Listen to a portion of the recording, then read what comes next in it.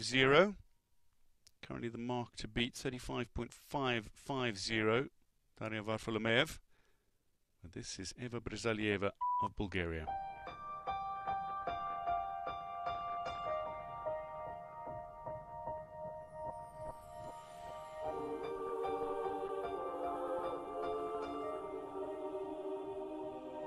Ready or not, not.